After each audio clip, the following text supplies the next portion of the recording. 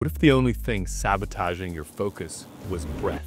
Your breathing is quietly deciding if you'll get into deep states of focus or drown in distraction. Now, I'm Rian Doris, founder and CEO of FlowState.com. We've trained everyone from Audi, Accenture, and the US Air Force to use neuroscience-based principles to access flow states at will. Today, I'm going to show you a breathing pattern proven to help you transition into flow state. Flow being that state of optimal consciousness where you feel your best and you perform your best. It's when action and awareness merge, when time dilates and self-consciousness disappears. Now, when I was four years old, walking along the beach in Chennai in southern India, there, near the edge of the water, stood a man balanced on a single leg. His other leg was twisted impossibly high up onto his hip. Children ran past shouting, but he didn't move. I tugged at my dad's sleeve and pointed, what's he doing? He's a yogi.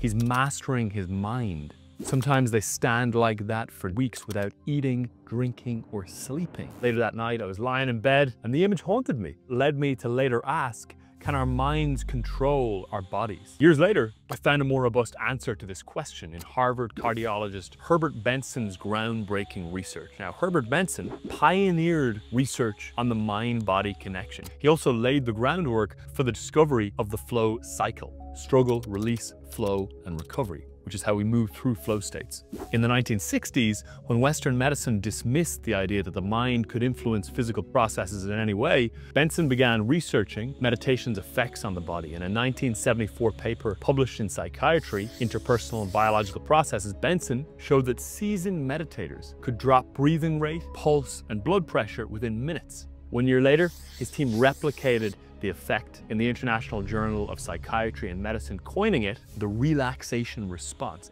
His research showed we have more control over our autonomic nervous systems than we generally believe. The autonomic nervous system coordinates all bodily activities, relaying information from our brain and our spinal cord throughout our body. The sympathetic part prepares for emergencies, fight, flight, and freeze, while the parasympathetic conserves energy, rest, and digest. And despite feeling automatic, we can regulate breathing rate, heart rate, blood pressure, digestion, and even hormone release through the autonomic nervous system. And this is the key discovery that yogis have known for centuries and that science has finally confirmed. We can control this system to shift ourselves out of stress and into flow state. Now you see flow state happens at moderate levels of arousal, not too high and not too low, calm yet alert. This puts you in what Mihaly Csikszentmihalyi, the godfather of flow research, calls the flow channel where your perceived skills match the perceived challenge level of the task at hand, the thing you're engaging with. When the challenge is too high,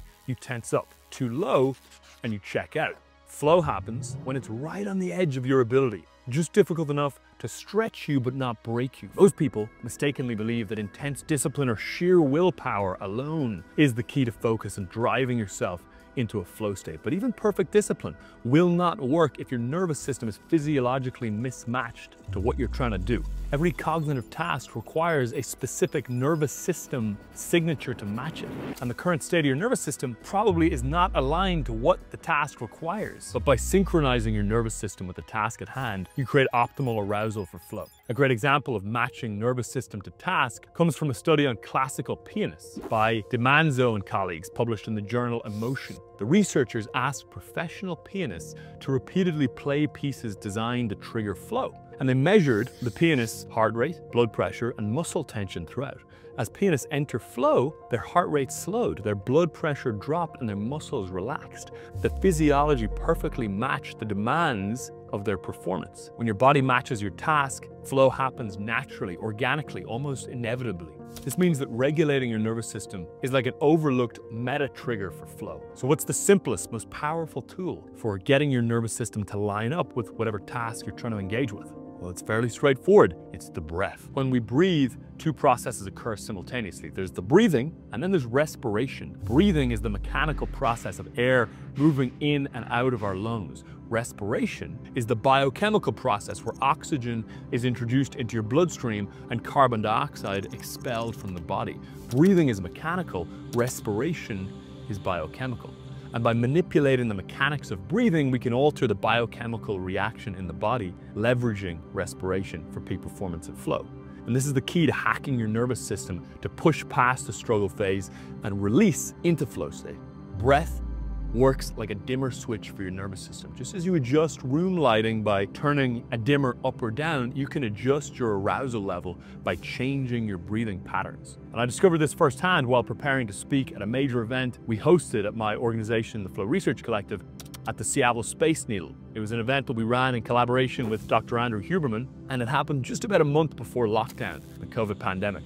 The nervous tension before I was getting up to speak was overwhelming, making it nearly impossible to focus on organizing my thoughts. And Dr. Huberman stood in front of the group of over 100 high performers that we were training together and walked us through a specific breathing pattern.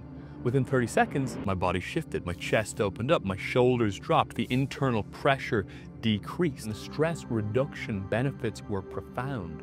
Over time, we synthesized the research on breath work and flow state and developed what we now call the flow state breath. That's three seconds in through the nose, a two second hold, and a 10 second exhale for three rounds. So here's exactly what to do. Inhale through your nose for three seconds.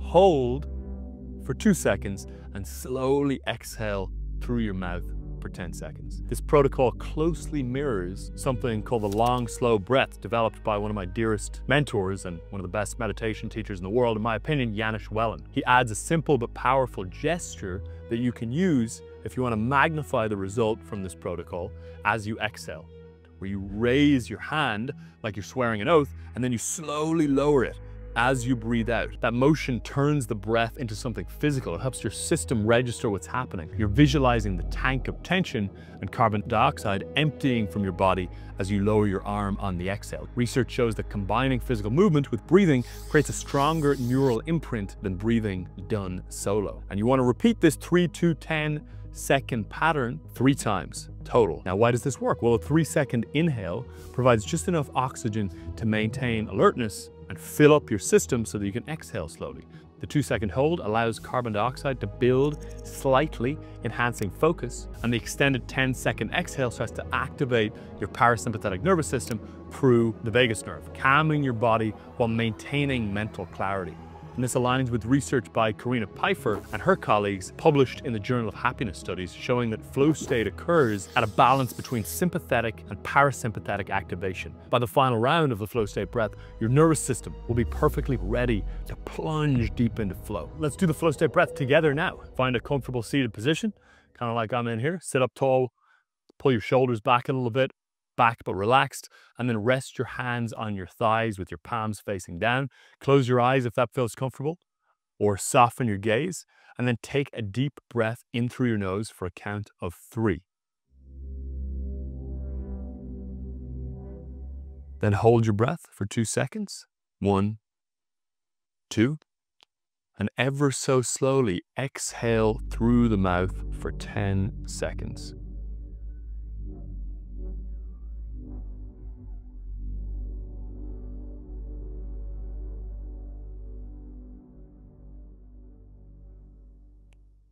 There you go. Great job. Well done. Now we'll repeat it two more times. Breathe in through your nose for three seconds.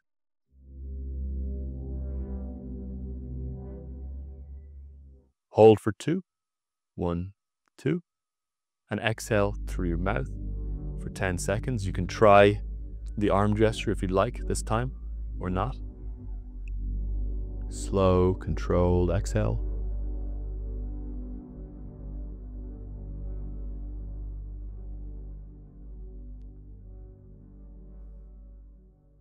And one last round. Inhale through your nose for three seconds. Holding for two. And a slow, controlled exhale for 10 seconds. As you exhale, you may be able to feel the parasympathetic nervous system come online. Tension in your shoulders may dissipate. Heart rate may slightly adjust. You may get this soft wave of calm wash over you. Well done. You've just completed your first flow state breath. What counts as a flow state breath, by the way, is three rounds of those three breaths. So nine in total. Now feel how your body and mind are already instantly more relaxed. By now, your body is more primed for flow. Now here's what's key about the flow state breath. You can do it anytime. You can entrain your system and habituate to doing the flow state breath. I do it on Zoom calls. I do it if I'm on a train. I do it if I'm waiting in the line at a coffee shop. I do it all the time. And what'll happen is the foundation of your physiology will shift and rewire, and your autonomic nervous system will become more balanced. It'll reconfigure itself, physically reconstructing neural pathways, adjusting baseline heart rate variability, and as a result, lowering and buffering you against chronic stress. And the more accessible flow will become. Now, if you'd like a breakdown of the flow state breath that you can reference at any time, click the link in the description. It's totally free and it'll get sent to you right away. Now, remember, every breath you take shifts your brain. It's either nudging you closer to flow or dragging you further from it. Breath is the fastest, most effective way to create alignment between your state and the task at hand which is required for peak performance. Now, one of the most effective places you can deploy the flow state breath is in the context of gaining what is called leverage, which we argue is the number one most critical productivity superpower. To master gaining leverage so you can amplify how much you can accomplish in any given hour, click the next video and have a watch now.